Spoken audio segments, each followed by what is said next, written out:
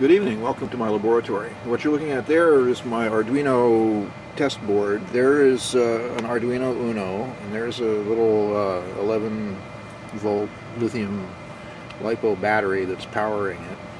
Uh, and this is what I want to demonstrate. This is an Adafruit NeoPixel ring. This is a 16 pixel ring of Adafruit's NeoPixels. Each one of these little guys, each one of those little square guys there is actually an RGB LED and a microprocessor inside each one of those little chips. And so what happens is it is um, it just uses a single data line and the two uh, power and ground leads to control 16 RGB pixels um, and it's really neat. I uh, took the one of the example sketch that comes with the NeoPixel library which can be downloaded from GitHub. I'll put a link in the description. Um, and I modified it by adding a software uh, brightness control using a potentiometer because the thing is ridiculously bright. Those little pixels are so bright. Well, shut up and turn it on. Okay, okay. Alright, so this is just the demo uh, program with the addition of um, of the brightness control and right now I have it actually turned pretty dim so that it doesn't blow out the sensor in the camera uh, or you know bloom it out with too much brightness. This is really really really dim and you can see how bright the uh, NeoPixels are. Okay, here I'll turn it up to full brightness. Look at that. That's full brightness and it hurts my eyes to look at it. So that's why I put in the software brightness control to uh, tone it down a little bit to acceptable levels. So we'll just let it, let the uh, program play here. That might still be too bright.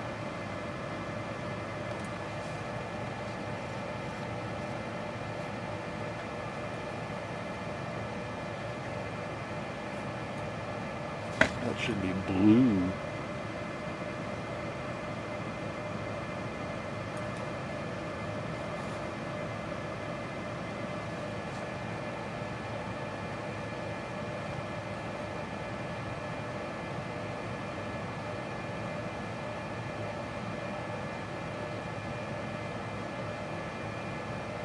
The color is not really showing up very well on the camera. The saturation is really nice, really good on these things.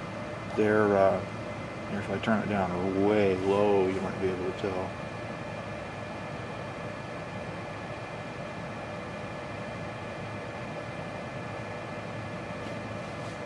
It's a beautiful little device. My local supplier has started carrying Arduino and Adafruit products, which uh, is dangerous for me because I'll wind up spending too much money. So there's the full brightness again. It hurts to look at those things.